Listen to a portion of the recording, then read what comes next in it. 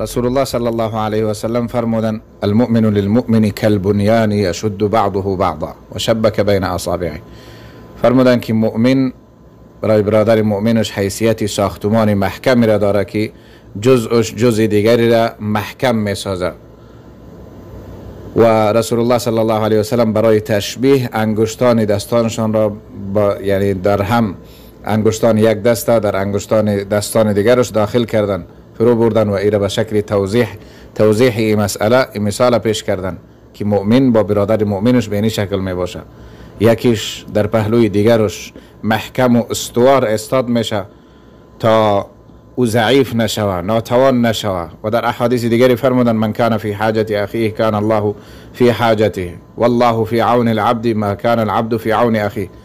کسی که کمک و همکاری با برادر محتاجش می‌کنه الله حاجت او را پورا می‌سازه در حالت محتاج بودنش باز الله به حاجت از او رسیدگی می‌کنه کسی که با برادر مؤمنش همکار باشه الله او را همکاری می‌کنه در تمام کارهایش. حالتی که به سر برادرای ما شما در پکتیکا آمد.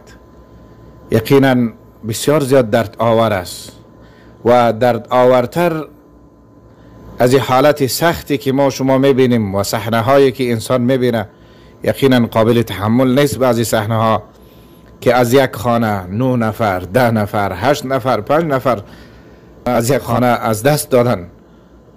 خانه و کاشانهشان از بین رفته تباه شده و درد آورترش ایست که به او شکلی که مناسب است به او شکلی که باید مسلمان ها در پهلوی اونها قرار بگیرن. تمام هموطنان ما دور از اینکه به کدام منطقه تعلق دارن از کدام نقطه افغانستان هستند باید در پهلوی مظلومین در حالتشان قرار بگیرن. دور از این یعنی تمام چیزهای قومی یا منطقوی یا ای چیزها متاسفانه به او شکلی که مطلوب است به او شکل استادگی صورت نگرفته. هنوز از جهت تقاضای ما از دوستا ایست که تقاضای ما از برادرها از خواهرها کسانی که الله ذوالجلال برشان امروز این امکانات داده. در حقیقت صحنه بود که گویا قیامت گونه در روز قائم شد. این صحنه باید صحنه روز قیامت به یاد ما بیاره که در اون روز هم روزی است که باز این مال دارایی ای اهل ای اولاد هیچ کسی به درد ما نمی‌خوره.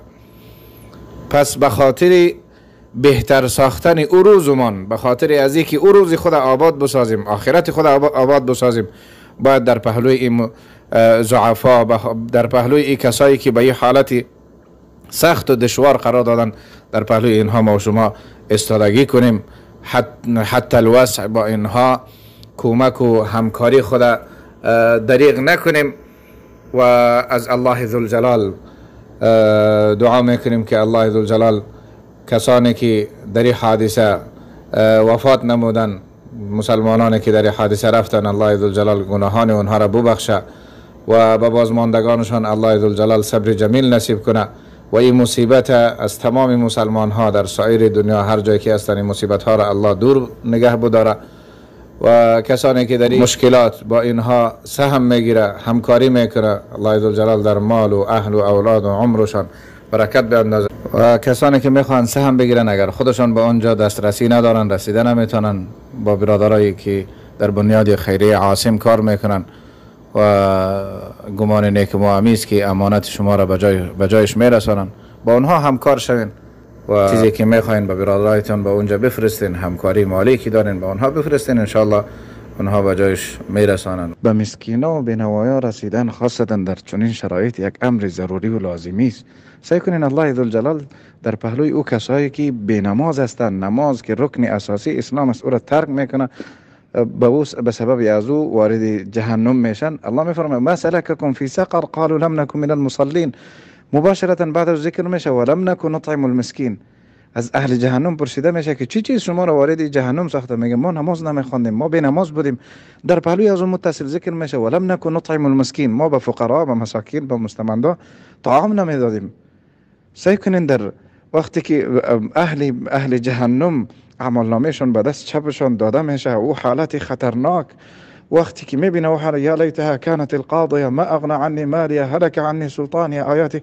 نمیخوام پیام طولانی در آخری است که علتش چیست که اینها به به چیز روبرو شدن که أهل جهنم گردیدن. و اعمال نامهشان به دست چپشان داده شد؟ إنه کان لا یؤمن بالله العظیم ای به الله به ذات عظیم و بزرگ ایمان نمیارد ولا یحض على طعام مسکین و به اطعام فقرا و مساکین مردم تشویق نمیکرد ترغیب نمیکرد. اقلا صرف از ترس ای آیات بیایم ما شما به اطعام فقرا مساکین. او برادرای ما شما که فعلا در پکتیکا یا گاه گاهی در جاهای مختلفی به این شکل حالات پیش می ولی امروز برادرای ما تو در پکتیکا نه خانه دارن نه کاشانه دارن نه چیزی به دارن نه دوایی به علاج دارن. مسئولیت ایمانی موتوست در غیر از او خطر ایست که او آهی او مظلومی که بی خانه بی کاشانه بی دوا بی بینان آهی از او بلند شوه و باعثی از شوه که تمام مال و سرمایه من و تو هم از بین بره.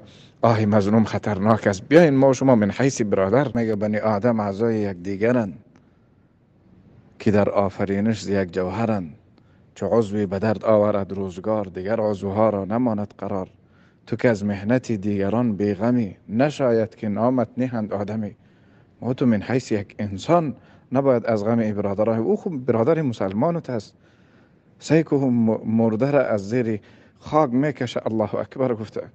کلمه را که تو به زبان میرانی او برادر مسلمانت امروز به زبان میرانه.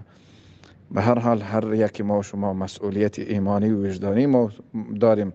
که به اندازی وسط توانمان در پهلوی ای برادره و این چنین هر وقت هر مشکلی که در هر جای در سر مسلمان ها میآید به اندازی واسه توان در پهلویشان بیستیم.